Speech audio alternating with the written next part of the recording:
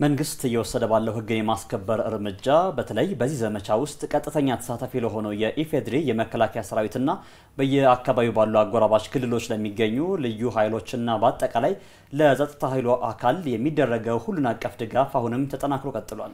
በአዲስ አበባ ከተማ አስተዳደር የሚገኙ የመንግስት ሰራተኞችም ከ750 ሚሊዮን ብር በላይ ለሀገር መከላከያ ሰራዊት ድጋፍ ለማድረግ ቃል መግባታቸው ተነግሯል። የከተማ አስተዳደሩ ምክትል ከንቲባ ወይዘሮ አዳነች አቤቤ ህግ በማስከበር ላይ ለሚገኘው የሀገር መከላከያ ሰራዊት ድጋፍ ማሰባሰብን አስመልክቶ በየደረጃው ካሉ የከተማ አመራሮች ጋር ተወያይተዋል።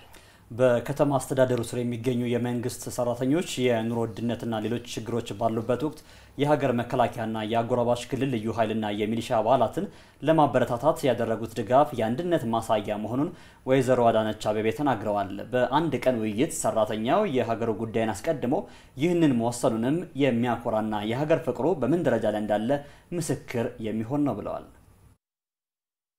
በዚህ ወቅት ሰራተኛው በዚህ ደረጃ መወሰኑ አመራር ሁሌ ይወስናል። ሰራተኛውም በተለያየ መንገድ ይሳተፋል፣ እውነት ነው። ነገር ግን በአንድ ቀን ውይይት ትላንትና ነው ውይይት የተጀመረው። በአንድ ቀን ውይይት የኑሮ ውድነት እያለ ችግር በየቤቱ እያለ በአጠቃላይ ከሰባት መቶ ሚሊየን ብር በላይ ደሞዙ ላይ መወሰን ማለት በደረሰ ሪፖርት ብቻ የተንጠባጠበው እንዳለ ሆኖ ማለት ነው። ትልቅ የሀገር ፍቅር ካልሆነ በስተቀር ያወረነውም አቅጣጫ ግዴታ የለበትም። ይሄ አንድነታችንን መግለጫችን ነው። ይህንን ለመከላከያ ሰራዊታችን በዚህ ዘርፍ ህግን ለማስከበር ለተሰማሩት ሁሉ መድረስ በሚችል ደረጃ ለሚሊሻም ለልዩ ኃይልም በተለይ ድንበር አካባቢ ያሉ የአማራ፣ የቤንሻንጉል፣ የአፋር መረዳት ያለባቸው አሉ። እነሱንም ጭምር ለማጠናከር የሚከፋፈል ነው የሚሆነው። ጸጥታውም ሴክተር አጠቃላይ ፖለቲካው ሴክተር እየሰራ ያለው እጅግ በጣም የሚያኮራ ስራ ነው።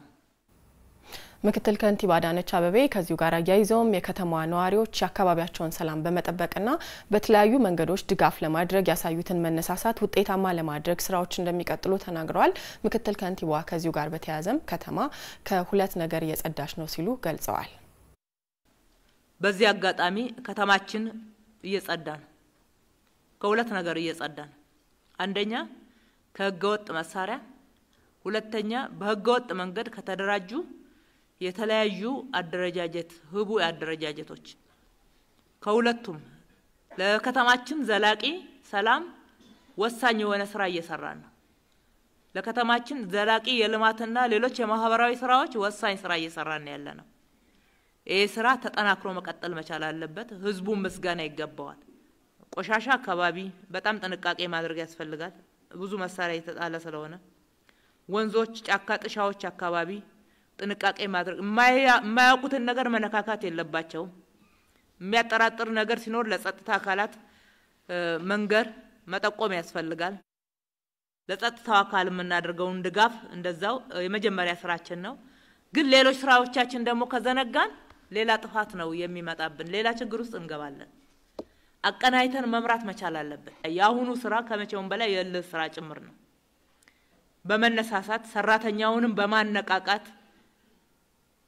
መሰራት መቻል አለበት። ውጊያው በእኛ በኩል የሚያስፈልገው ስራችንን በብቃት መስራት ነው።